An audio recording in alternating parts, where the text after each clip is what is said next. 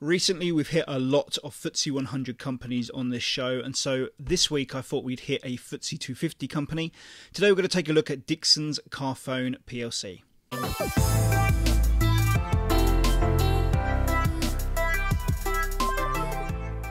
Hey there, guys, how's it going? My name is Chris Chillingworth. Welcome to episode number 23 of the FTSE Show. Yeah, 23. Um, hope you are doing well during this whole lockdown process. Um, you may have noticed that I'm getting bearded. Uh, I thought I'd not shave for the process and see what happens. Um, it may end badly. I did used to have a big bushy beard down to here probably about four years ago, uh, back when I was doing public speaking in Westminster. I've got some videos of me up on stage with a huge beard. Um, so yeah, maybe maybe going back to those days. Depends how long this lockdown lasts for, I suppose. Uh, but yeah, anyway. So today I want to look at Dixon's Carphone PLC, um, a household name, uh, a big brand.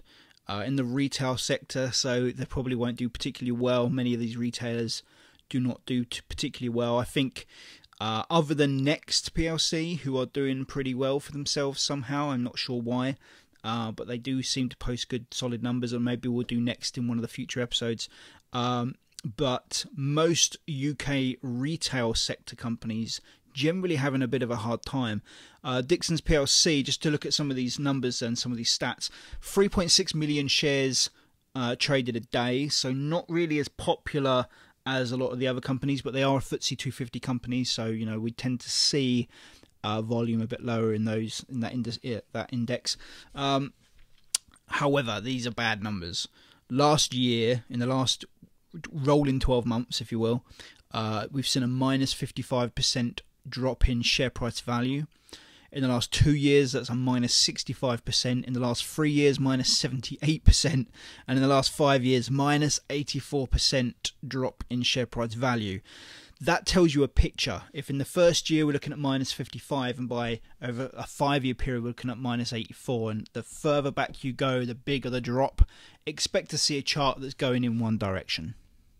Okay, so let's take a look at Dixon's Carphone PLC, Epic code DC dot uh, FTSE 250 index, and they're in the retailers sector.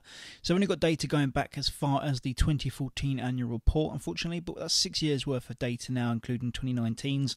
That's going to be plenty for us to be able to see generally what's going on. So first thing that I notice over the last three years, we've got pretty stagnant revenue growth uh, from 10.2 to 10.5 to 10.4 billion. So really, we're not really seeing anything going anywhere. I mean, you could argue it's gone up a little bit over uh, 2017 to 2018. We've seen a slight decline in 2019. It's not a major concern, but it looks like you know we could have reached maybe a bit of a peak there. Uh, doesn't necessarily mean it won't continue to go up. Uh, but we're probably expecting 2020 to be a, a negative year. What with the uh, uh, the impact of the virus and all, all that. But um, cost of sales is my big concern because that is rapidly growing and is surpassed the revenue in 2019. So whatever makes up that cost of sales, it's costing the business their profits, and uh, that's a, a, concern for me. I don't like companies that have any losing years. Losing years are bad news, uh, especially for share price growth the the point to make here is that I'm looking for companies that are going to grow over the next 10 to 20 years. And we're talking about growing businesses in terms of the intrinsic value of that business, the under not not the price of the stock market shares, but the the underlying value of the business. I'm looking for a business that's going to grow uh, and do well. So I'm looking at the intrinsic value of the business, and with that, we expect the share price to take care of itself. If the company's doing everything right and it's reinvesting its profits and it's doing a very good job of making big, chunky profits, we're talking 20% to 30% net earnings would be ideal. You know, 15% is okay. Uh, companies that are making that kind of profit and they're reinvesting a big chunk of those profits rather than paying it all out on dividends, but reinvesting some of that money for uh, growth of that business. You know, that's what I'm looking for and I'm looking for a company that are going to keep doing that. They've been doing that for the last 10 years and they're going to carry on doing that. That's their focus, that's the way they do things. Because what will happen is the share price will grow with that business. Investors and the overall market itself will see what the company is doing. They'll see the company is growing, demand for those shares will increase, and the share price will, will rise. And that's typically what we tend to see. If you look at the 31 companies that I have found that, that tick all those boxes, what you look at when you look at their graphs and their charts is sustained growth in share price that go along along with the sustained growth and continued growth in that company. When you're looking at a company like Dixon's Carphone here, we've got flat revenue, so there's been no growth in the last three years, which is, like I say, a concern but not a major concern. We could we could get over that if they were doing other things right. But the fact that cost of sales has now overtaken the revenue coming in and they're now making a loss at the gross profit level, that's a concern that's a big concern because that is that means that the underlying value of the business it's not really doing that well. Now that might be a, a bad year, but if we come down to net earnings, we can see that prior to 2019's 3% net earnings loss, they really weren't doing that well. 4%, 2.5, uh, sorry, 2.6, 1.9, 3, and 2.2% net earnings. Now, if you take the average of all of that and include 2019's data, we're looking at an average of about 1.8% net earnings a year. So, of all the money coming into Dixon's Carphone PLC over the last six years, they're keeping only about 1.8% of it per year. And for me, that's just nowhere near enough. Nowhere, I mean, we're talking about I'm investing in companies that are hitting 20, 25, 30% net earnings. They're keeping 30% of all the money that comes into the business. They get to keep 30% for the shareholders. That they can pay in dividends, that they can, more importantly, because I'm not a big fan of dividend uh, payments, I would much rather a company, instead of paying out dividends, reinvest that money into the business so the business can grow. We're talking about buying more assets. We're talking about retained earnings, so they can uh, acquire other other comp- competitors or other businesses to um, complement their their products or their services. You know, and so they can grow. They can carry on growing and growing and growing into the future. And that's what I want because the share price will grow with that intrinsic growth value of the business. Uh, I'm not so interested in the dividends because, sure, you know, as a shareholder, we get dividends, we get paid a bit of money, but the company can generally do better with that money than just giving it to me, if that makes sense. You know, I'd rather the company keep it and grow it, uh, and I'll get a better share price out of it after the 15, 20 years I've been holding it. Um, Dixon's Carphone, they, they can't do that because they're just not making enough profit. There's just not enough profit being made here by this business, and it's down to the cost of sales. They're just too high.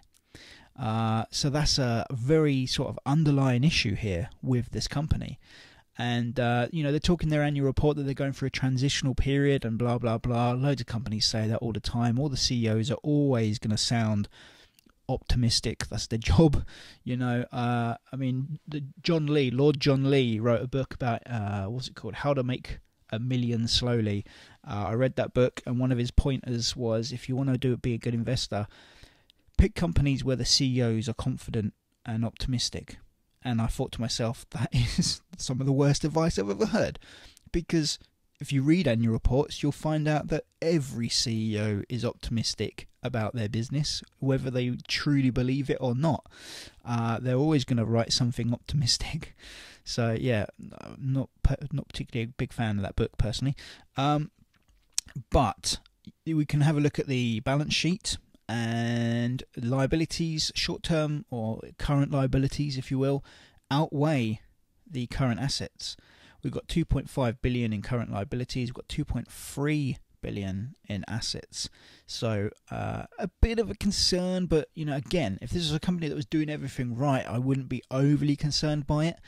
Uh, but by a company that's making a loss now in 2019 and their history hasn't been particularly solid, it's a bit of a concern for me uh, more so a concern because once we take all of the assets minus all the liabilities and we're left with the shareholder equity, we can see the shareholder equity has fallen by about what are we looking at here? We're looking at about 550 million, so half a billion in shareholder equity.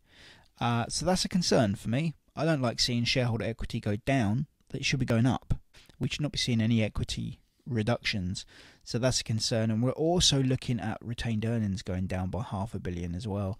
1.6 billion in retained earnings, now only 1.1. There was no acquisitions in 2019.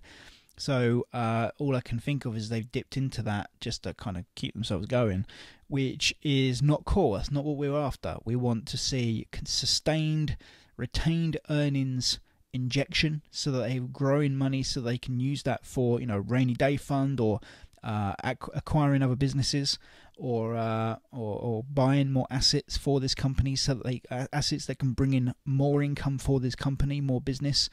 Uh, that's that's not not a sign of good growth. Um, the return on shareholder equity has been historically relatively low. So what we're talking about here is the return that, that Dixon's Carphone are getting for their shareholders from the uh, from the equity that it holds.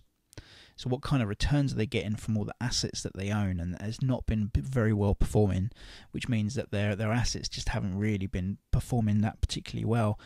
Um, and then they're spending a fairly large amount on property, plant, and equipment. Any company that's got high capital expenditure in in property, plant, and equipment to in order to stay competitive in their sector or in their industry generally is going to struggle to uh, to to do well in terms of share price growth. Let's take a quick look at the chart. Okay, so many people were asked the question, look, Dixon's Carphone, 69 pence a share. Is that a steal right now? Is that a, a good deal right now? So let's call it 70 pence per share. Well, this is what I always say, and I say I've said this on many other episodes before. Listen, if a company that's got fantastic financials, that is ticking every box in what I'm looking for in terms of a growth company that are making 15, 20% net earnings or better. You know, and all of that, ticking all the boxes. They're making huge profits. They're doing fantastically well, and their share price is down, often because of forces outside of their control, such as a flu epidemic or some sort of virus or you know some sort of banking crisis or whatever it might be. That's when these these small these low share prices are a steal because you're buying a great company that by no fault of its own has had their share price hammered down to a very small price. And now we're looking at great this is wonderful because now we can get into this own shares in this wonderful company that's probably going to continue to do very well for itself. If it's got a culture of doing things well for itself over, over the last 10 years we can get in at a much cheaper price than we ever would have been able to before. So when people say to me is this a steal? I say to them Absolutely not.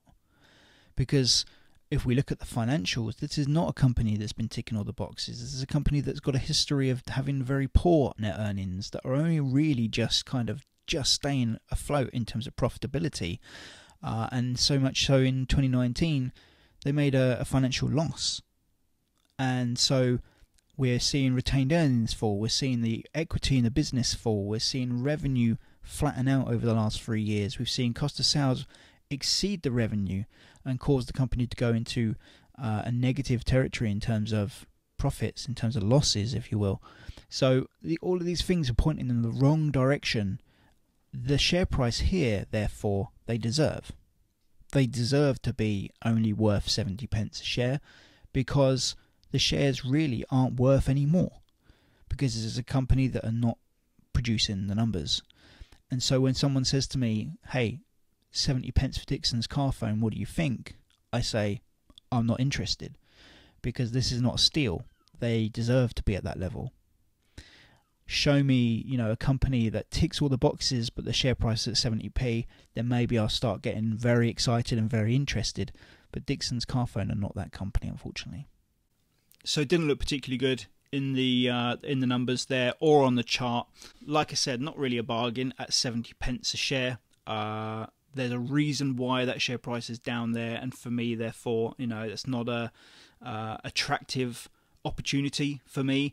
If this was a company that were ticking all the boxes and looking really solid, trading down at that level because of something outside of their control that had knocked the share price all that, that all that way down, then I'd probably be very interested.